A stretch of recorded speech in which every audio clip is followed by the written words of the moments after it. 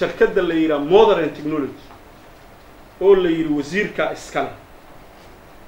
Wasiirka ayaa mataqaanaa gacanna ku saxiixday gacanna asagaa ku qaatay la yidhi.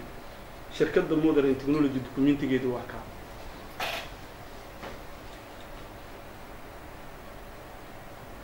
Laba kun saddex iyo toban ayaa waxaa loo baahday in qaabka diiwaangelinta gaadiidka la casriyeeyo oo hab digital ah ama electronic ah in laga dhigo. Taas oo awooddeeda aysan markaas lahayn xukuumaddii xilligaa shaqaynaysay aysan awood u lahayn inay mataqaanaa markaas budgetka oo ay u baahan tahay shaqadaasu inay bixiyaan madaxdii qaranka ee dalka markaa ka talinaya ayaa waxay doorteen in la siiyo shirkad shaqadaa qabata oo kaliya samaysa qalabkaas database-ka keenta qalabka oo electroniga lagu shaqaynaayo oo sidii laysimada iyo qalabka oo maaragtay lagu daabaco mashiinada iyo balatiska shirkaddaas labaatan iyo saddex bishii saddexaad laba kun afar iyo toban ayaa wasiirka xilligaas ee wasaaradda gaadiidku la galay heshiiskaas.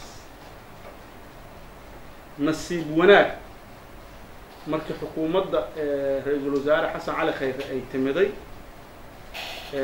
la arkay in heshiisyadaas yacni serviceka ay qabanayaan ay hay'adaha dawladdu ay qaban karaan golaha wasiirada ee xukuumadda waxay go'aamiyeen in dhammaan la kansalo heshiisyadaas.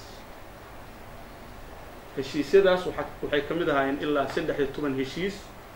Mid ka mid a na waxay ahaaday heshiiska shirkadda modern technology waxaa la kansalay kowdii november laba kun toddobiyo toban. Marka shaqada dhan lagu wareejiyey budget systemka lagu wareejiyey ee dakhliga iyo kharashkaba markaas ayaa la kansalay wasiir omar marka waa wasiirkii asagu gacan ku kansalay warqaddiisa warqaddii lagu kansalayna iyaduna waa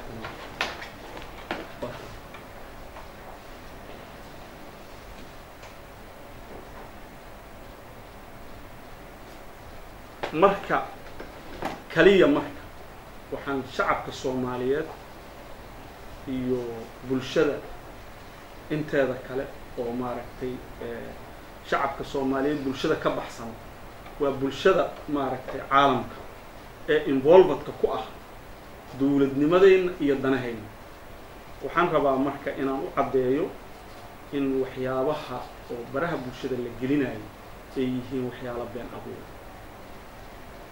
Waxaa fiican dadka haddii qofka laga leeyahay haddana gaar in si kale loo weeraro. Laakiin in documenti dawladeed iyo heshiis aan asagu shaqo ku lahayn in waxaa la dulmaro khalad waayo waxaan aaminsannahay in dad dana gaara kale ay yihiin. Kolley waana la baari doonaa waana la ogaa doonaa kaliya aniga waxyaabaha iga quseeya ka agaasa ma aha. Ma aha inaan qof difaacayo ma aha. Waxa iga quseeya systemka wasaaradda ee la yidhi